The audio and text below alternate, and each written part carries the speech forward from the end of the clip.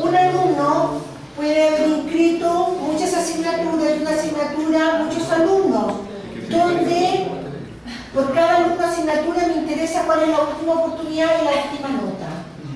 ¿Ok? Pregunta del millón, ¿cómo lo hacemos si en realidad necesito manejar todo el histórico? ¿Cómo varía eso?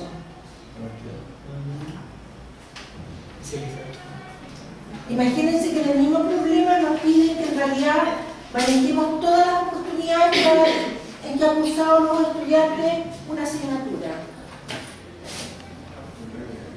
¿Qué cambio le hago al modelo? ¿Ya? Imagínense que aquí dice fecha. Pero por cada alumno, asignatura, hay una oportunidad y una nota, y eso es cierto, hay una sola, y hay una sola fecha. Por cada alumno, asignatura, hay una sola oportunidad, una sola nota. Si la persona ha hecho la asignatura varias veces, no. Entonces, ¿qué tengo que poner aquí?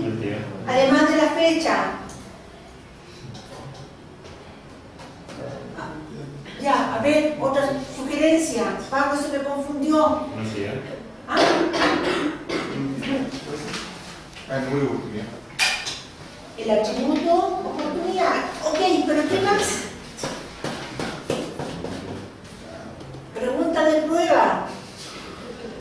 ¿Qué le falta a esto para que maneje todo el histórico? Bien, Priscila, bien. Vamos a tener alumno, asignatura,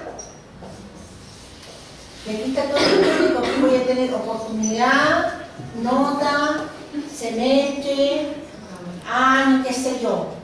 Fíjense,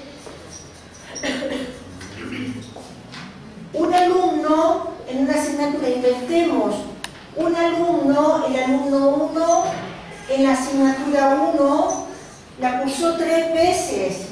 Por eso que el atributo multivaluado. En la oportunidad 1 obtuvo un 3, en la oportunidad 2 obtuvo un 3,5 y en la oportunidad 3 tuvo un 4,9. Eso es lo que estamos multivaluando. Ahí está. ¿Estamos?